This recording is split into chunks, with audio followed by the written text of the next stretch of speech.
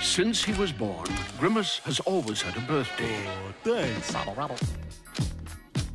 And since he's had a birthday, Smile. he's always had it at McDonald's. So this June, we're all invited to the party with a special shake to celebrate.